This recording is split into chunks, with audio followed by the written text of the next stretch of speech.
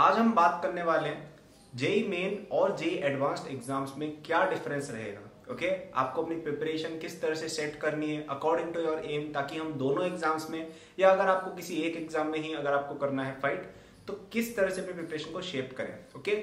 तीन पॉइंट्स में हम बात करेंगे मटेरियल स्टडी मटेरियल में क्या डिफरेंसेस रहेंगे प्रिपरेशन के अंदर क्या डिफरेंसेस रहेंगे, और एग्ज़ाम में, या जब लास्ट टाइम आप प्रिपरेशन कर रहे हो एग्ज़ाम पैटर्न में उन चीज़ों में क्या डिफरेंस रहेगा? अच्छे से आज हम इस वीडियो में बात करेंगे। सबसे पहले हम बात करते हैं मटेरियल की।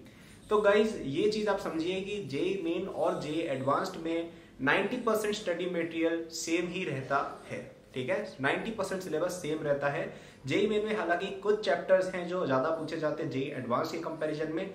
जैसे कि आपके एनसीईआरटी में कुछ चैप्टर्स हैं, जैसे स्टेटिस्टिक्स हो गया, आपका मैथमेटिकल रीजनिंग हो गया आपका केमिस्ट्री में इन्वायरमेंटल केमिस्ट्री हो गया केमिस्ट्री एवरीडे लाइफ वगैरह हो गया ये जो तीन चार चैप्टर्स है सेमी कंडक्टर्स ये आपके जेई मेन में एक्स्ट्रा आते हैं। हालाँकि इनको कवर करना कोई डिफ़िकल्ट काम नहीं है।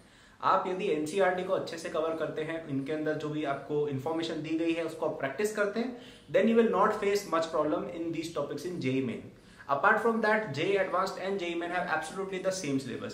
However, JEE Advanced has slightly tougher level of questions compared to JEE Main, and in some cases, some of the questions can be very very tough, especially in physics and mathematics. Okay, तो ये एक difference है दोनों के study material में अब यहाँ पे मेरी जो सजेशन रहेगी वो ये रहेगी कि गाइज़ अगर आप स्पेशली क्लास इलेवेंथ ट्वेल्थ में अभी हो मतलब आपके पास अभी एक दो डेढ़ साल बचा है जेई की प्रिपरेशन में मतलब प्रिपरेशन पॉइंट ऑफ़ व्यू से अगर हम बात करें तो आपको अपना ध्यान देना चाहिए जेई एडवांस्ड पर क्यों क्योंकि जेई एडवांस एक ज़्यादा डिफ़िकल्ट एग्ज़ाम है। उसकी प्रिपरेशन अगर आप करेंगे, आप अगर जेई एडवांस लेवल के क्वेश्चंस अभी से प्रैक्टिस करेंगे, अपनी कोचिंग शीट में, आप जहाँ पे भी पढ़ते हो, वहाँ पे आपको JEE Main level exercise JEE advance level questions इस तरह से दे रखा होगा ना तो आप जेई एडवांस्ड वाले टाइप्स के लेवल तक अपनी प्रिपरेशन पहुंचाओ। क्यों? क्योंकि इससे जेई मेन की प्रिपरेशन आपकी अपनी आप हो जाएगी। तो ये आप करें प्लीज़ कि जेई एडवांस्ड को एम करें। ज़्यादातर बच्चे जो बहुत अच्छी रैंक्स लाते हैं इंक्लूडिंग माई सेल्फ हमने जेई मेन पे फोकस नहीं किया था। हमारा फोकस जेई एडवांस्ड पे रहता है क्योंकि मेन एग्ज़ाम वही होता है। आईआईटी में एडमिशन आपको उसी से मिलने वाला है और इन दी एंड टॉपर्स के लिए वही वाली रैंक मैटर करती है। लेकिन जेई मेन को हम इग्नोर नहीं कर सकते। वाई बिकॉज़ जेई मेन से आपके आईआईटी के अलावा सारे कॉलेजेस में एडमिशन होता है। अब आईआईटी में तो दस हज़ार बच्चे जाने वाले हैं, ठीक है ना? तो अब हर बच्चा तो देखो जाएगा नहीं। इस वीडियो को देखने वाले ही बच्चे शायद दस हज़ार से ज़्यादा होंगे। तो आप में से हर एक बच्चा आईआईटी नहीं जाने वाला है, ये फैक्ट वाली बात है, ठीक है? इसको लेके बुरा नहीं मानना है कि मैं कह रहा हूँ आप आईआईटी नहीं जाओगे, आप सब जा सकते हो, लेकिन नंबर से यहाँ दस हज़ार ही सीट है तो आप में से ज़्यादातर बच्चे नहीं जाएँगे। तो अब वो बच्चे किसी ना किसी एनआईटी में जाएँगे, किसी ना किसी और गवर्नमेंट कॉलेज में जाएँगे, या किसी और प्राइवेट कॉलेज में एडमिशन लेंगे। अब वहाँ पे जेई मेन की रैंक आपकी मैटर करती है तो वहाँ पे अगर आप जेई मेन की परफॉर्मेंस अगर आपकी अच्छी नहीं है तो आपने एडवांस में तो बहुत अच्छी रैंक अचीव कर ली, कि भाई सौ में सौ में तो चलिए नहीं, बीस हज़ार रैंक लेट से आ गई। ये बहुत अच्छी रैंक होती है, ये बहुत अच्छी रैंक है जेई एडवांस में बीस हज़ार रैंक बहुत अच्छी रैंक है, लेकिन इससे आपको आईआईटी नहीं मिलने वाली, क्योंकि आईआईटी की सीट्स खत्म हो जाती है राइट और लेट से आपने जेई मेन के अंदर इतना अच्छा परफॉर्मेंस नहीं दिया, और आपका प्रिपरेशन एडवांस पे था तुमने एक लाख या दो लाख रैंक अचीव कर डाली यहाँ पे, ठीक है? अगर ऐसा सीनियर बन गया then you will not be in a very favourable position because IIT तो मिलने से रही जो एग्ज़ाम अच्छा हुआ, वो काम कर रहा नहीं। और ये रैंक शायद इतनी अच्छी है नहीं from a college point of view लेकिन अगर ऐसा हो जाता है कि आपकी एडवांस के अंदर, आपकी लेट से कि एडवांस में तुम्हारी रैंक इतनी अच्छी नहीं आई कि पचास हज़ार रैंक आ गई। This is not a good rank in JEE advance क्योंकि एक लाख बच्चों में से पचास हज़ार रैंक है। लेकिन जेई मेन के अंदर तुम्हारे 2000 या 10000 रैंक आ गई। This is now a good condition because भले ही हमें आईआईटी नहीं मिली, हम अभी भी एक अच्छे डिसेंट कॉलेज में जाएँगे। डिसेंट नहीं, बहुत अच्छे कॉलेज में पहुँच जाओगे। टॉप एनआईटी इजीली मिल जाएगी इतनी रैंक पे। राइट तो I hope you understood my point that you have to keep your preparation up to JEE advance level लेकिन जेई मेन के जो क्वेश्चंस होते हैं जेई मेन के पीवाईक्यूज हो गए उनको आपको इग्नोर नहीं करना है तो अभी तक मैंने मटेरियल की बात कर ली है प्रिपरेशन की बात कर ली है अब करते हैं एग्ज़ाम की कि एग्ज़ाम में क्या डिफरेंस होते हैं और फाइनल एग्ज़ाम की जब तैयारी होती है जब लास्ट के कुछ दिन होते हैं तब आपको क्या डिफरेंसेस रखने हैं तो गाइज़ एग्ज़ाम में जेई मेन में नेगेटिव मार्किंग रिलेटिवली कम है जेई एडवांस के कंपैरिजन में, पहली बात तो ये। दूसरी बात ये कि जेई मेन के अंदर आपका क्वेश्चन केवल एक ही टाइप का आता है सिंगल चॉइस अब हालाँकि न्यूमेरिकल टाइप भी डाल दे, लेकिन तो भी एक simple overall question paper pattern रहता है। जे एडवांस में लेकिन मल्टीपल चॉइस भी आता है, ज़्यादा नेगेटिव मार्किंग आती है मैच द फॉलोइंग आता है इंटीजर टाइप आता है पैराग्राफ टाइप आता है, बहुत सारे तरह के क्वेश्चन रहते हैं राइट तो जे एडवांस रिलेटिवली एक टफर एग्ज़ाम हो जाता है because of the sheer difference in the test taking pattern ठीक है? तो आपको इसके लिए भी प्रिपेयर रहना है। आपको ट्राई करना है कि आप जेई मेन और जेई एडवांस दोनों के क्वेश्चंस पेपर क्या करो। ऐसा नहीं करना है कि केवल जेई मेन जेई मेन के क्वेश्चंस कर रहे हो, क्योंकि उससे आपका एडवांस लेवल का तैयारी नहीं होगा। उससे आप मिस आउट कर दोगे पैराग्राफ टाइप की प्रैक्टिस पे।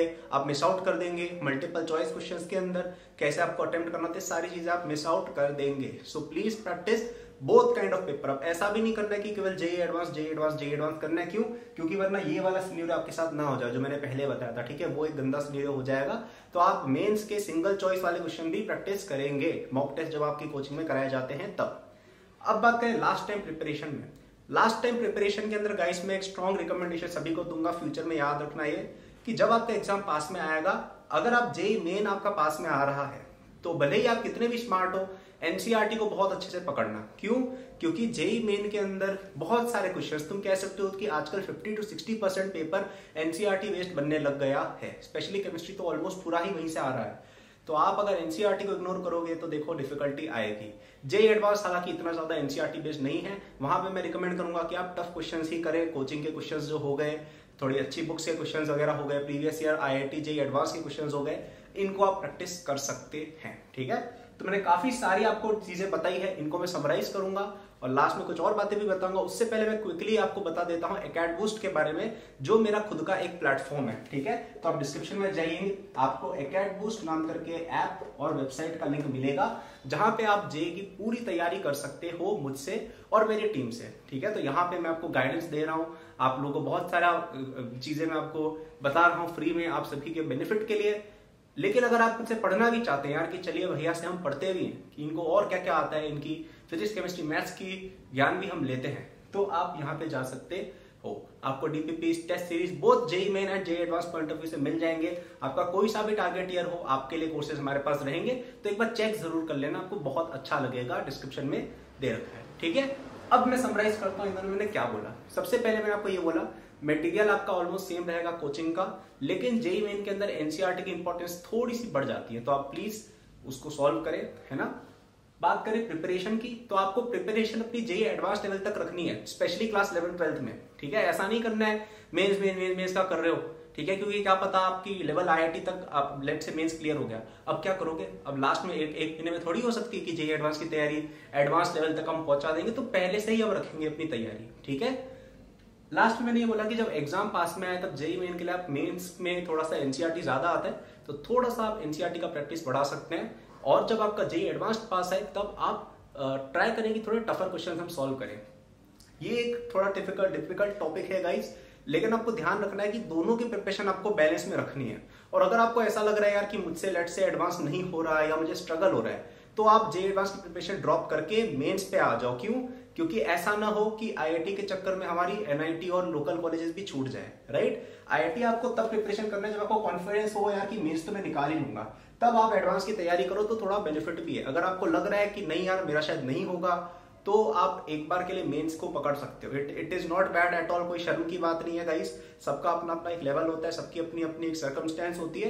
तो आपका जो लेवल है, उसको एम्ब्रेस करें। और अगर आपको लग रहा है कि I can not do JEE advance due to any reason और ऐसा नहीं कि ज़बरदस्ती बोल दिया कि इलेवंथ की स्टार्टिंग में बोल दिया कि मैं नहीं कर सकता। लेट से छह महीने बच्चे एग्ज़ाम में, और आपको लग रहा है यार कि मेरे अभी भी मॉक टेस्ट में तीस चालीस नंबर ही आ रहे हैं, तीन सौ में से जेई मेन में तो यानी कि शायद आपको एडवांस की छोड़ के अब मेन्स का पढ़ना चाहिए, ठीक है? तो ये चीज़ आप करें। ये बहुत बच्चों के साथ मैंने देखा है गाइस कि एडवांस एडवांस के चक्कर में मेंस भी जाता है एडवांस भी जाता है। तो ये गलती ना करें। One of the most common mistakes which aspirants do तो अपनी प्रिपरेशन को आप पूरी तरह से स्ट्रीमलाइन रखें। दोनों में डिविजन समझें कि एडवांस में ये डिफरेंस है मेन्स में ये डिफरेंस है।